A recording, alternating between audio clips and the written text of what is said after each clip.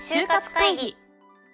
今回は LINE に内定をいただいた村山さんにお越しいただきました。私立文系で今回 LINE に内定をいただきました村山と申します。消費者レベルまでに IT を浸透させることができるサービスやプロダクトを持っている会社っていうのを軸に定めていました。人々の生活の中の一部となっているっていうところで一番私の軸に近いですしこれをもっと利用していこうっていうふうに感じました。村山さんの就活のスケジュール感っていうのはどういったものだったのかどういったふうに進めていったのかっていうのをぜひお伺いできたらと思います。2年生の冬の時期にコロナウイルスが感染拡大が始まった時にその中で21卒の就活の形態が変わっていたっていうのをニュースで見たり先輩方からお話を聞いた中で私も早めに行動しなきゃと思いました。なので意識し始めたのは2年の冬頃ですが本格的に始めたのはは3年生の夏のインターンからになります。なるほどなるほど。じゃあその夏のインターンを3年生から始めていたと思うんですけどインターン何社ぐらい受けたとかありますか？夏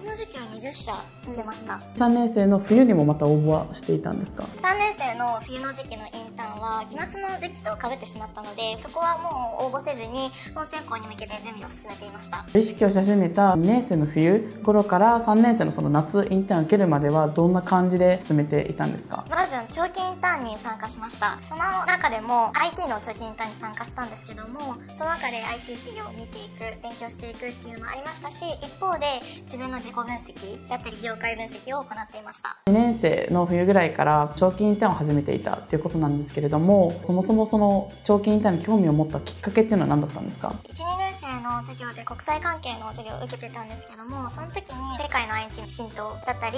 IT の進化っていうのを目の当たりにしたところで IT に興味を持ち始めました。そこで長期インターンも IT 関係の企業で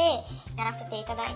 そこから夏冬に向けては IT× 何かで日本の IT 化を進めていけないかっていうところを考えていました。2年生の終わり頃から長期インターンを参加されていて3年生くらいからはもう20社ぐらいインターンをされていたと思うんですけど、まあ、これって結構あの他の就活生の方々と比べたらちゃんと準備されてるなって印象を持つんですけどどういったご自身の考えでその20社を受けられていたのかお伺いしていいですか？まず就活を始めるのは初めてでしたので自分の実力がわからないという段階だったのでまずは幅広く受けてみようというのが最初の夏インターンです。特に IT 企業には先ほど言ったように軸を持っていたので IT×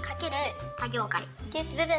参加していました。業界をその時点では絞ることはあまりせず相手と絡めた上で幅広い業界も見ていたっていう感じですよね。はいそうなります。まあ、いろいろ軸を聞いてきたんですけれども LINE の選考フローっていうのをお伺いしていいですか？ES を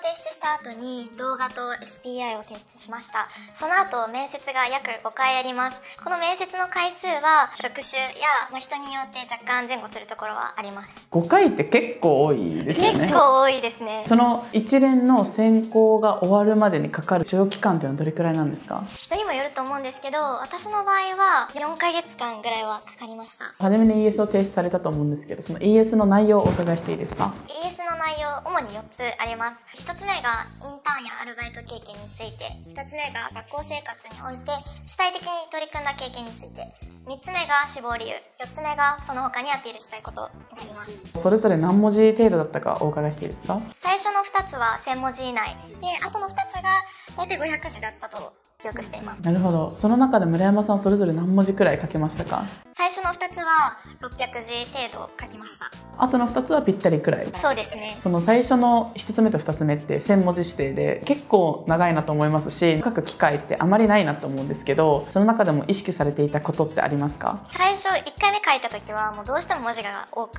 なってしまいがちで分かりにくかったのでより分かりやすくかつ詳細に書くと意識しました。ES の質問項目の欄には取り組む過程においてステークホルダーとの関係性や最終的な評価も合わせて記載してくださいと細かく指定されてあったので、まあ、その質問に沿った内容を書くことを意識しました。エントリーシートを提出した後に SPI と動画選考があると思うんですけれどもそれぞれについてもお伺いしていいですか？はい。SPI についてはあの一般の企業と同じ SPI でした。動画選考に関しては3つ項目があったんですけども、まあ、それぞれ ES に書いた内容を話しました。動画選考の質問っていうのは事前にはわからないものだったんですか？事前にはわからないものになります。その動画はそれぞれどれくらいの長さだったんですか？1分ぐらいだったと記憶してます。5回面接があるということだったんですけれどもそれぞれお伺いしたいなと思っていてまず一次面接から何対何でどんなことを聞かれたのかでまた村山さんがどんなことをお答えしたのかも軽く教えていただけたら嬉しいです。まず一次面接面接官2名と学生1名でした。まず自己紹介そして就活の軸やビジョン他社の選考状況を聞かれ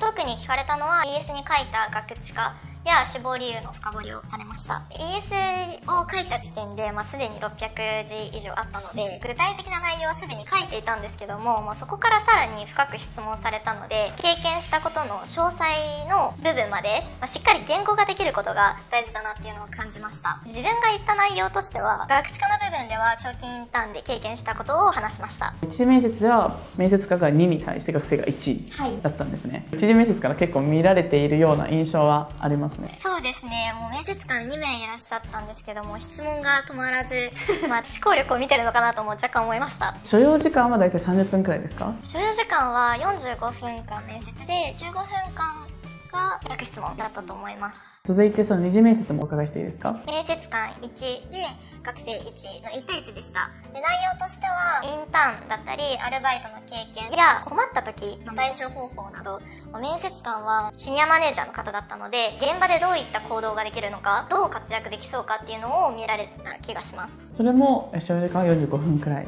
はいそうですね。結構長いんですね毎回。結構長いですね。なので質問もたくさんされますね。1時2時ではどういった逆質問を準備していたんですか？56個準備をしていたんですけども主に相手がどういう仕事をやっているのかっていう部分で仕事の中でどういった事業内容を行っていますかだったりそこから深掘りもしてましたし他には面接官が持っているこれから LINE でやりたいことだったりこれからの人生のビジョンだったりそういうのを聞いていました。特に気にしていたのはやっぱり LINE のカルチャーとマッチしているかどうかっていうのを気にしてたので LINE でどういう働き方ができるのかっていうのを意識しながら質問していました。なぜこの職種なのかっていうのも深く聞かれました LINE を受けられる学生が準備しておくといいことがあればぜひ教えていただきたいです。受けなかったっていうのは自分の中で少し心残りがあります。就活会議と春ダイアリーで自己分析ツールを共同開発しました。40問の質問で自分では知らない意外な性格が診断できます。就活生の皆さん